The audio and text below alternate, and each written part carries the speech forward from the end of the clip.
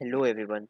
The game which I'll be showing you today was played between Adolf Anderssen and Ron Dufresne. Adolf Anderssen was a chess German chess grandmaster and Ron Dufresne was a chess composer. The this game has got the title of the evergreen chess game and why this game got this title just get to know in the end of the video. So let's go to the game. So here Adolf Anderssen is playing with white pieces and Ron is playing with black pieces. Adolf Anderssen started with started with e4 e5 knight to f3 after knight to c6 and here Adolf played c4 bishop to c4 and after then here Ron played uh, bishop to c5 and then the game got transposed into Evans gambit. Uh, in this gambit white will sacrifice some of his pawns for rapid development. So here Ron took the pawn and after that here Adolf pushes c pawn and here bishop to a5 and now Adolf Anderssen sacrificed another pawn in this position because this pawn is pinned and you cannot take it with this knight also. So here Ron took the pawn and after that white castled in this position.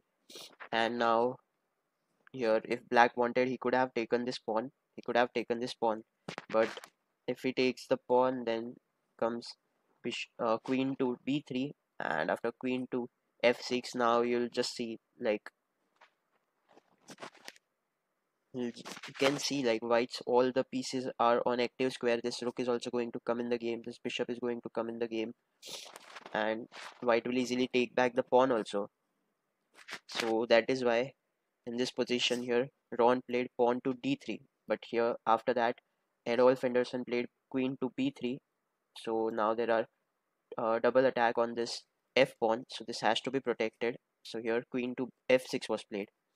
And after that pawn to e5 if you take the pawn by the your knight then you can take the knight in this position. And after that after you take your knight you can simply take the pawn in this position. And now the king has to go on f8 otherwise you lose your knight in this position.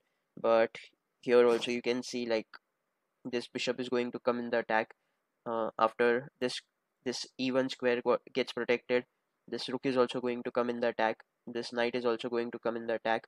This and after this bishop and knight both gets off their original square the another knight is also going to come in the attack. So your black will be under great pressure.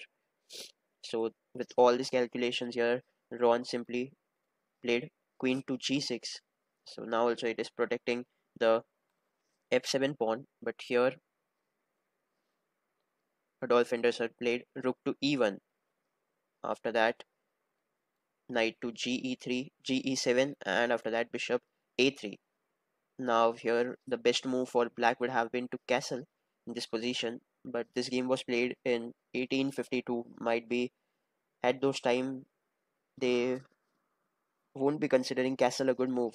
So also the move which Ron played was b5 why he played this move because now if he castles in this position then you can see white's all pieces are on active square. This bishop is also this uh, knight is also going to come in the game now and all the pieces are attacking on the king side. So it will be very risky for Ron to castle. So here he played pawn to b5 now Ron thought of sacrificing some pawn for rapid development again. So here queen took the pawn and after that rook to b8 so queen a4 bishop to b6 and here knight to bd, bd2 bishop to b7 then came knight to e4 here ron played queen to f5 but now bishop to d3 and queen to h5 so here adolf anderssen he like did very good calculations and he played bishop he played knight to f6 so now there is a fork on the queen. So it is compulsory for you to take the knight. But after pawn takes the knight now there are double attack on this knight. And you are just going to lose your knight in this position. There are triple attack on this knight. So here mm, Ron played the best move possible. He played queen he played rook to g8 and like here Anderssen Adolf Anderssen played rook to ad1 and this is the winning move Here Ron didn't know what is going on the board, like what checkmating pattern Adolf Anderssen has set for himself.